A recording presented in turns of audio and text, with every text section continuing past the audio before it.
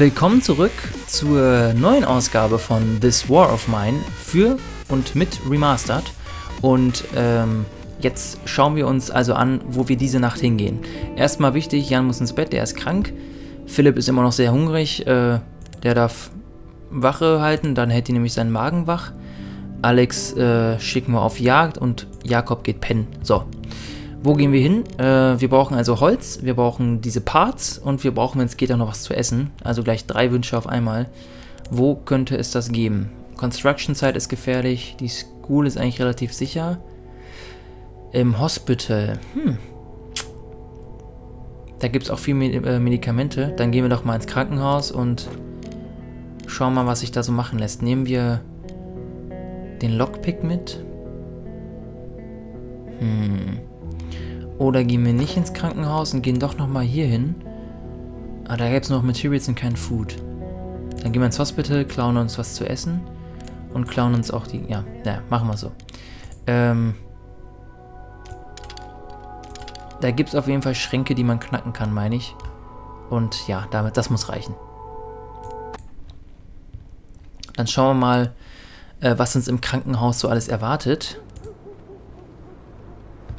Alex sagt schon, sie sagen, es wird immer noch betrieben. Vielleicht ist das nur, nur ein Gerücht. Aber da läuft jemand rum. Ich denke, es wird noch betrieben. Schauen wir erst einmal nach. Ja, da sehen wir schon mal ein Schränkchen. Da ist ein Wachmann. Und hier sehen wir jetzt eine Art Krankenschwester. Wenn wir da hingehen dann, äh, und auf diesen Koffer klicken, dann versorgen die einen. Das ist also schon mal ganz cool. Und bei dem Typen hier können wir, wenn wir wollen, Medikamente spenden. Und im Gegenzug und auch eben uns was zurückholen. Ähm, aber eigentlich brauche ich hiervon gar nichts. Also die Crowbar ist zwar reizvoll, aber ich brauche es eigentlich nicht. Jetzt gehen wir hier einmal rein, schließen diese Tür und warten jetzt eigentlich nur ab, bis der Typ sich umdreht. Jetzt können wir nämlich hier aufmachen. Oder sieht er uns? Mal gucken.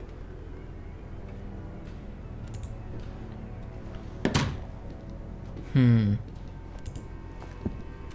Warum stehst du denn jetzt? Bleib doch einfach sitzen, Mann. Ja gut, dann schauen wir erstmal so weiter. Gehen wir erstmal hier rein. Hoffen wir mal, dass die Tür jetzt nicht aufgeht und klauen mal hier ein bisschen was. Bandagen super wichtig. Was zu essen auch geil. Toll. Eine gute Ausbeute. Auch wenn es mir leid tut fürs Krankenhaus, aber ich brauche auch Hilfe. Na gut, da traue ich mich jetzt ehrlich gesagt noch nicht so sehr ran. Dann gehen wir erstmal ein Stockwerk höher. Können wir ruhig mal rennen. Gehen noch ein Stockwerk nach oben. Wir erinnern uns, ich brauche einfach Parts. Also ich brauche Holz, ist wichtig. Ich brauche vor allem auch diese Parts. Don't do anything stupid. Nein, nein, nein, auf gar keinen Fall. Gott, oh Gott, oh Gott. Der steht am Fenster. Der Typ da hinten rennt nur so rum. Das ist ja eh nichts, was ich klauen kann. Das heißt, hier kann ich also was nehmen. Wir nehmen erstmal alles mit. Und lassen gleich irgendwo was zurück. Hier könnte ich jetzt was klauen. Ist nur die Frage, ob die mich jetzt sehen würde. Komm schon, geh weg. Warum gehst du denn nicht? Mhm. Ne, die wollen nicht. An den Schrank kann ich natürlich auch ran, aber erst wenn der Typ hier wegrennt. Das heißt, im Moment kann ich es hier vergessen, was zu machen. Bei dem Typen kann ich auch was klauen. Der muss dann aber sich auch dementsprechend hinstellen. Mal gucken, ob der mich dabei erwischen würde. Ich glaube, einmal habe ich auch einen Freiversuch. Also ich glaube nicht, dass der mich sofort umbringen würde. Oh Gott, er sieht, dass ich was klauen möchte. Nein, nein, nein, äh, es, es war ein Versehen. Nein, nein, das, ich wollte nichts klauen. Tut mir leid. Was macht der Typ? Kommt er hier rein? Der sucht einfach nur was. Hier liegen Patienten. Das heißt, hier kann ich ziemlich sicher rangehen. Und mir diese Parts hier klauen. Traumhaft. Genau die habe ich gebraucht. Was haben wir hier? Ah, Holz. Auch gut.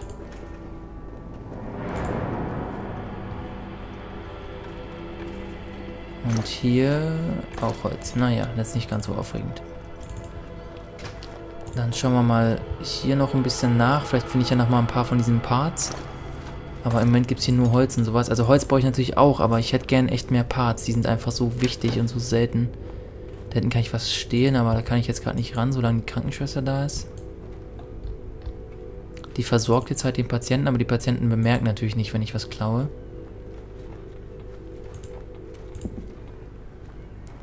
Ah, jetzt verlässt sie es. Gut. Das ist also meine Chance, da jetzt eben reinzugehen. Tür zu.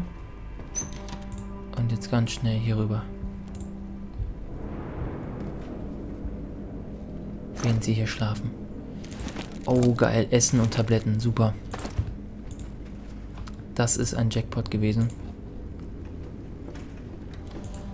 Ja, ähm, ist das, was ich jetzt hier mache, gerade cool? Eigentlich nicht, natürlich, aber, ähm, ich brauch's einfach, ganz im Ernst, ich brauch's und ich bin mir selbst gerade wirklich am nächsten. Ich könnte jetzt natürlich diese Sache, die ich geklaut habe, mit dem Typen da verhandeln gehen, also ihm quasi geben, aber, ähm, das nützt mir einfach nichts. Schön, dass der Patient mit der blutenden Kopfwunde mal eben das Fenster zumacht. Ist auf jeden Fall wichtig. Are you a patient? Nee, aber wie wär's, wenn du dich einfach ins Bett legst? Dann kann ich hier nämlich gucken, was ich hier klauen kann. Gut, sie gehen. Ich kann also hier mal kurz schauen, was es da noch so gibt. Oh, Wahnsinn. Ist das gut. Oh, ich glaub's nicht. Äh, dann gebe ich die Components lieber ab und nehme die Parts nochmal mit hier. So. Dann rennen wir jetzt nochmal nach ganz unten. Da ist nämlich dieser Militärheino. Äh, aber vor dem muss man nicht so viel Angst haben, weil der sich auch in der Regel relativ blöd anstellt. Jetzt habe ich ja noch gar nicht richtig was gelockpickt, ne? Das heißt, ich habe jetzt noch einen Platz verschwendet, weil ich noch die beiden Lockpicks habe. Wäre natürlich geil, wenn ich die jetzt einsetzen könnte. Einer ist halt hier, aber solange der Typ da rumhockt, kann ich halt nichts machen. Der setze ich jetzt hin. Jetzt geht sie hier lang. Das heißt, ich kann jetzt mal kurz hier hinten gucken, ob es da was zu holen gäbe. Ne, gar nichts. Mal gucken, was sie macht. Geht sie jetzt zu dem Schränkchen?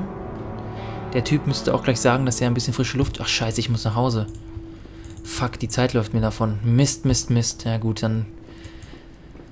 Dann kann ich jetzt nichts machen. Dann renne ich jetzt lieber zum Ausgang und äh, hole mir dann... Wo rennt er denn hin? Gibt es hier einen anderen Ausgang, den ich verpasst habe? Was macht der Typ denn? Scheiße, ich komme nicht rechtzeitig zurück. Ich kotze. Oh, Mist, Mist, Mist, Mist, Mist. Komm schon, komm schon, komm schon. Lauf, lauf, lauf, lauf, lauf, lauf, lauf. Ja, ja, ja, ja, ja, ja, ja, ja, ja, ja, ja. Nein! Fuck, das heißt, Alex ist nicht sofort zurück. Ich kotze, ist das blöd. Das war jetzt eher uncool. So knapp. Ah, 13, ja. Unglückszahl. Oh, ich hoffe, Alex kommt schnell zuruk. There's been some problems. Da waren keine Probleme. Ich habe einfach nur die Zeit nicht beachtet. Gott, wie ärgerlich. Jetzt sind nämlich diese ganzen Teile auch nicht da. Jetzt kann ich also auch noch nichts bauen oder so. Kann nur warten. Hm. Dann lassen wir Alex, äh, Philipp erstmal schlafen und Jakob und Jan können erstmal ein bisschen hier die Stellung halten und nichts machen. Toll. ah doch, sie können wenigstens das Essen einmal hier rausholen. Wenn das nichts ist, dann weiß ich auch nicht. Wir haben auch frisches Wasser. Ist auch ganz toll. Also ich kann zumindest was kochen. Aber erstmal holen wir das Essen. Setzen die Falle auch direkt wieder ein. Wir können aber jetzt nur Raw Food einsetzen, weil wir nichts anderes haben. Aber egal. Eins einsetzen, dafür zwei gewinnen. Ist erstmal ein Plusgeschäft. Gut, es kostet Zeit, aber nichtsdestotrotz. Ähm. Tja, was verbrennen wir?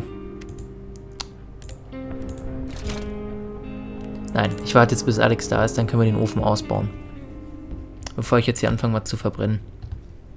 Lasse ich die Leute lieber noch ein bisschen hungern. Und er müsste ja eigentlich gleich kommen. Ja, was können wir in der Zwischenzeit machen? Ach, da ist er. Alex got slightly wounded. Ach, ärgerlich. Ist das ärgerlich, weil ich die Zeit nicht beachtet habe, ist Alex verletzt. Das heißt, ähm, ich kann jetzt erstmal... Jetzt komm, beeil dich doch mal. Ich kann jetzt erstmal äh, eins der Verbänder äh, verschwenden lassen. Toll, ich habe drei Bandages, das ist so geil. Und muss jetzt einen hier verschwenden. Aber wenn ich das halt nicht mache, dann, ähm, dann läuft der Gefahr, äh, läuft die Wunde Gefahr halt schlimmer zu werden und am Ende könnte mir der, könnte er wegen so einer blöden, so einem blöden Kram sterben. Das, das ist mir einfach zu blöd. So, jetzt wird er erstmal sich erholen gehen und Jan baut jetzt den Ofen einmal aus. Das ist nicht toll. Und dann sparen wir ganz viel Brennholz. Also wir sind, denke ich, so langsam aber sicher gut gerüstet für den, für den kommenden Winter und auch für sonstige Ereignisse. Wir hören nochmal in Zwischenzeit ein wenig Radio. Da ist nichts Neues auf dem Sender. Auch nichts Neues. Und auch nichts Neues. Also nichts Neues hat sich ergeben. Das heißt, wir können äh, ein bisschen Musik anmachen. Ein bisschen klassische Musik. Ist das nicht schön? Fast schon romantisch. So, Jan hat sich hat den Ofen zusammengebaut. Und jetzt brauchen wir nur noch ein Fuel pro Ladung. Ist das nicht toll? Ein wahrer Traum. Mal gucken, was uns fehlt für die zweite Falle. Also ein Part fehlt uns noch und vier Hölzer. Okay, das lässt sich doch machen. Super. Wenn der Franco das nächste Mal kommt, können wir auf jeden Fall den Kram kaufen. Das heißt, ich kann auf jeden Fall ein paar Components verbrennen. Äh, also von denen hier. Und daraus zwei Brennhölzer machen und aus denen kann ich dann zwei Mahlzeiten wiederum herstellen. Sehr, sehr, sehr gut. Mal gucken, kann ich... Äh, ne, ich habe ja keine Broken Weapon Parts gefunden. Ich will unbedingt diese Hatchet irgendwie ausbauen. Die brauche ich.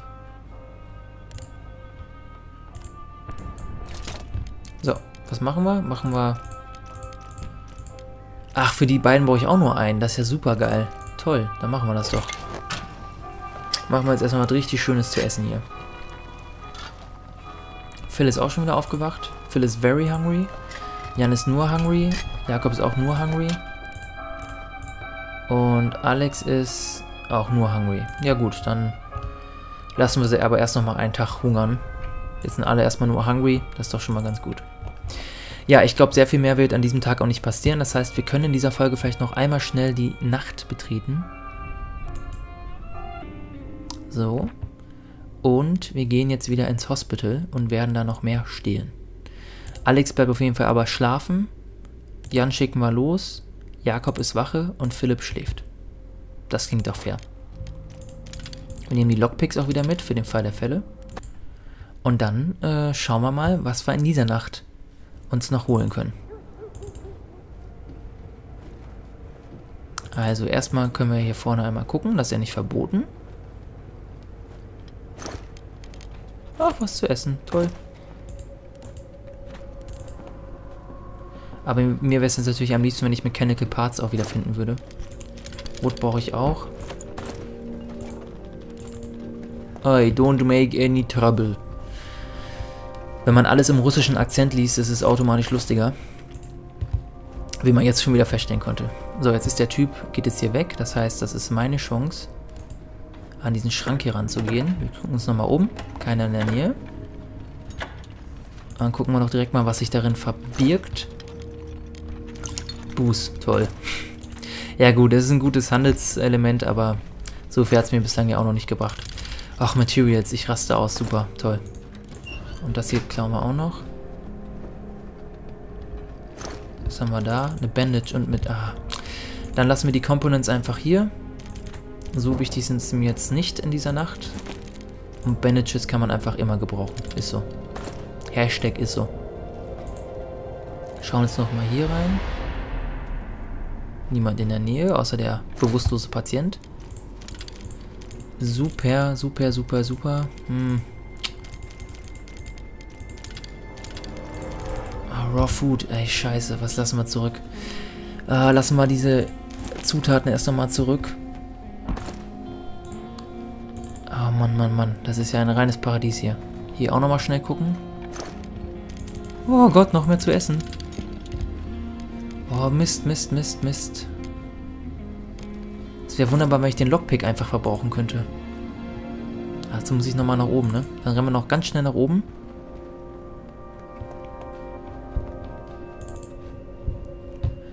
Ganz schnell. Oder war es nicht so? Dass ich hier oben diesen Schrank gab?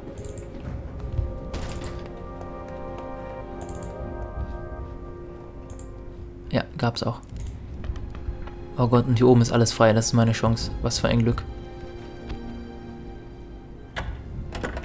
Das macht einiges an leer. Also nicht so viel, aber einiges. Muss man also aufpassen. Schnell, schnell, schnell, schnell, schnell. Ach, toll. Piste und, und äh, ich raste aus. Das ist nicht so toll.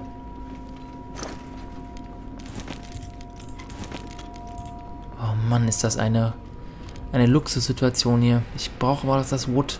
Vielleicht kommt morgen mal Franco. Ach, man weiß es nicht, man weiß es nicht. Machen wir so. Okay.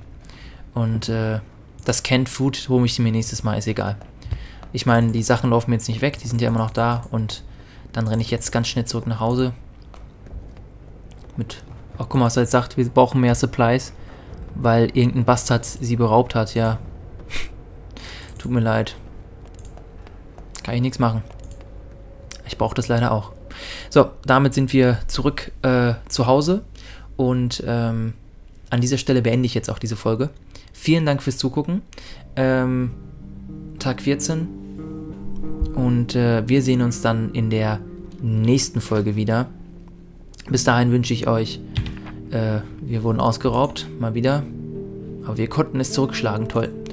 Bis dahin wünsche ich euch alles Gute, vielen Dank fürs Zugucken und bleibt uns gewogen.